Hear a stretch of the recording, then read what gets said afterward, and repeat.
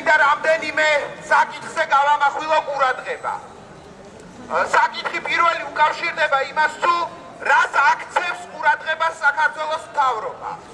პატიოსანი ადამიანების პროტესტს, პატიოსანი ადამიანების გამოსვლას, პატიოსანი ადამიანების მრავალი 10 დღის განმავლობაში ქუჩაში ყოფნას, დღე და ღამე საქართველოს ხელისუფლება ყურს არ უგდებს.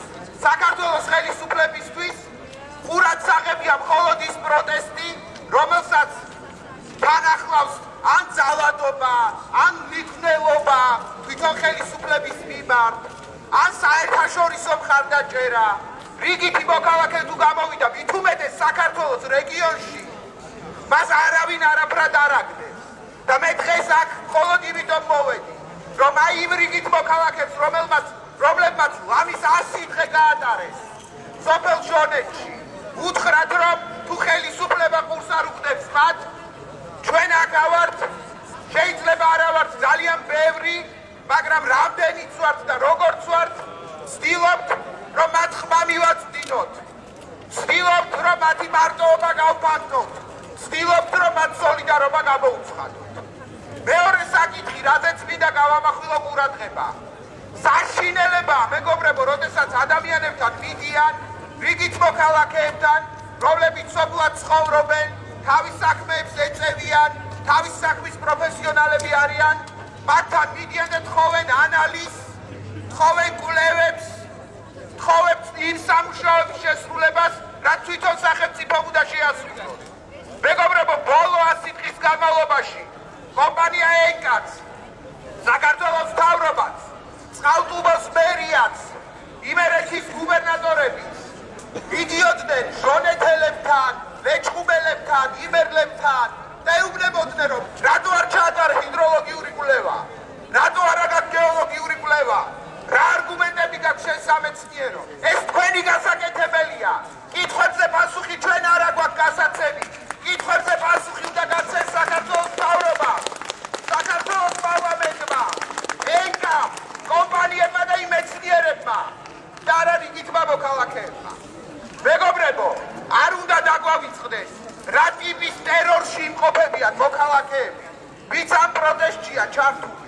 ჩართეთ საქართველოს საზოგადოებრივი მაუწყებელი, რომელსაც პრეტენზია აქვს, რომ იყოს ყველას ხმა. იქ აქვს პრეტენზია, რომ ჩვენს ინტერესებს ინტერესებს გამოხატავს. ყოველ კვირა გადის გადაცემა ბიზნეს პარტნიორი, სადაც ზის ხუთი ეკონომისტი ხუთივე საბაზრო ეკონომიკის მომხრე, ხუთივე ნეოლიბერალი, ხუთივე ადამიანი, რომელიც ფულზე და კაპიტალზე იფიცებს დედას.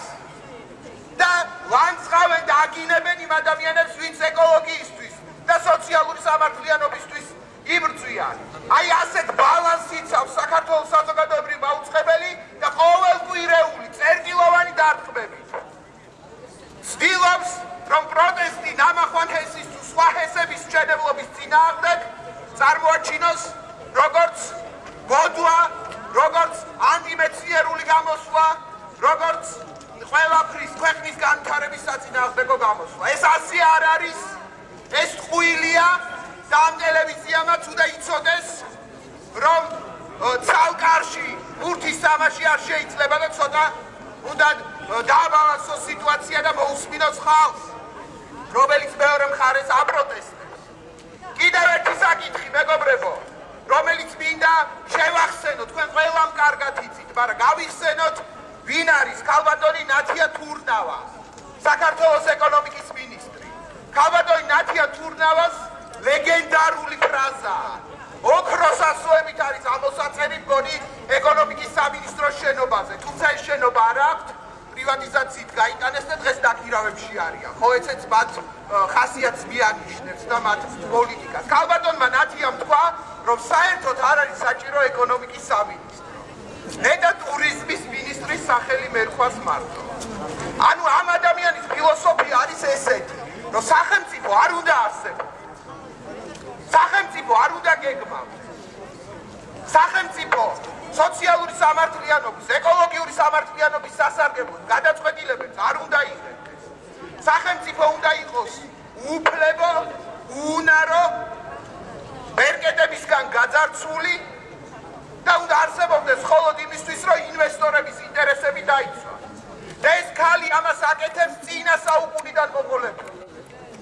გავიხსენოთ, რომ იგი იყო ვანო ჩხარტიშვილის მოადგილე, იყო ახაბენდუკიძის მოადგილე, იყო ძმე ბეშუაშვილების მოადგილე. შეიძლება ეს გვარი გეცნობა წრიმულთან მიმართებაში. იქ დატრიალებულ კატასტროფებთან და ტრაგიკულ მდგომარეობასთან მიმართებით. და ეს ქალი არის დღეს აქ ქართული ოცნების თავრობაში. ასე რომ აქ სწორად ითქვა, რომ აქ არ არის საქმე ვინ ქართული ოცნების წევრია და ვინ ნაციონალური მოძრაობის. აქ საქმე არის იმაში, რომ ნაციონალური მოძრაობაც და ქართული ოცნებაც ეკონომიკაში ატარებს ისეთ პოლიტიკას, რომლის გამოსხატულება არის ნაცია თურთავა. და ეს არის კატასტროფა. ეს არის უბედურება. აუცილებლად უნდა ვთქვათ, ჩვენ ვითომ გავხდით საპარლამენტო რესპუბლიკა. და თითქოს პარლამენტი უნდა აქტიური იყოს. ცოტა ხნის წინ გარდა ამ პროტესტისა, რასაც აფხედავთ, გარდა იმ განცხადებებისა, რასაც გარემოს დამცველები აკეთებენ, ცოტა ხნის წინ ძალიან ბევრმა ინტელექტუალმა.